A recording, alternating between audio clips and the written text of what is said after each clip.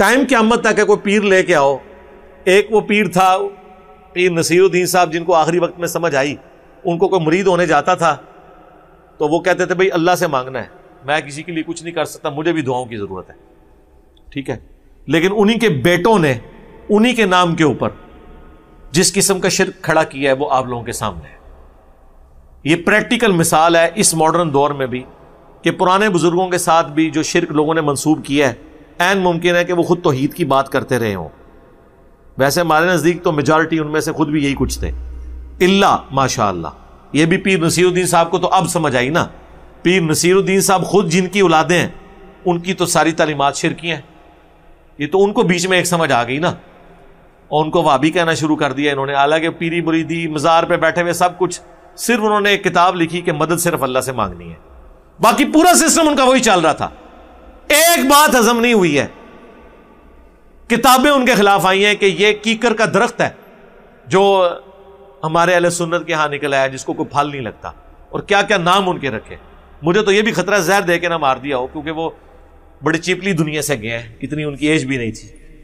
वो आखिरी वक्त में काफ़ी तंग भी थे वो, इस हवाले से। क्योंकि वो उनकी अपनी गद्दी पे भी वो दो डिवीजन्स हो चुकी हुई थी। ये रवायती सिस्टम के ख़िलाफ़ बोलते थे। और मेरी इनसे मुलाकात भी 2007 में हुई है। मेरी हिदायत का सबक बनने वाले चंद लोगों में से एक पीर नसीरुद्दीन साहब भी हैं।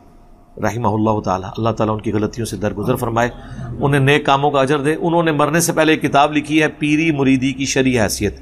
ये आपको गोल्डा शरीफ से किताब मिल जाएगी।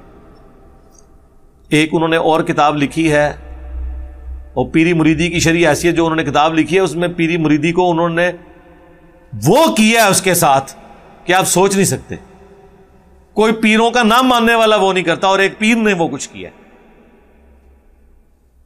और एक और किताब उन्होंने लिखी है अल जवाहिर अतहीदिया फित तालीमातिल गौसिया।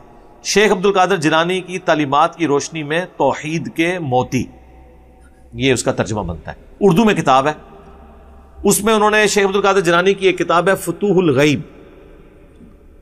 तोहीद के ऊपर बहुत क्लास की किताब है, नंगी तोहीद है। ये इतनी ज़बरदस्त किताब है कि इमाम इबन तैमिया ने इसकी शरह लिखी हुई है। और उस किताब के वो चंद जुमले आप इनके प्लेटफॉर्म से पढ़ के नहीं सुना सकते।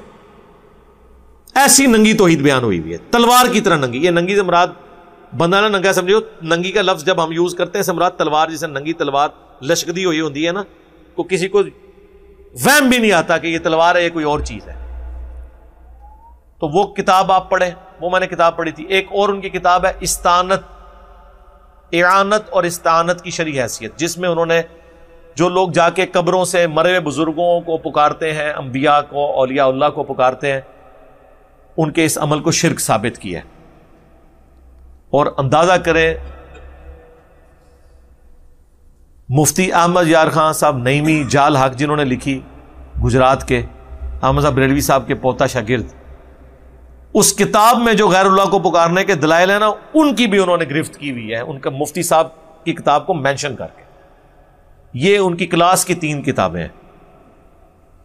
पीरी मुरीदी की शरी हैसियत अल जवाहिर अतहीदिया फित तालीमातिल गौसिया और जिसके अंदर उन्होंने ये फतूल गैब की सारी वो चीज़ें दी हैं। और एनत और इस्तानत, यानी गैरुल्ला से मदद मांगना, इसकी शरी हैसियत ये तीन किताबें अगर आपको मौका मिले, मैंने तो काफ़ी सारी वहाँ से ख़रीद के फ्री भी तकसीम की थी। कभी आप इस्लामाबाद आपका जाना हो, जी एलेवन में, गोल्डा शरीफ जाएँ आप, पीर नसीरुद्दीन साहब की कबर पर तो ज़रूर जाएँ। ठीक है? एक मुवाहिद आदमी था, उनके लिए दुआ करें वहाँ। और वहाँ जो बात स्टॉल लगे हुए हैं, उधर से उनकी वो आपको ये किताबें मिल जाएँ तो आप वो ख़रीदें ज़रूर।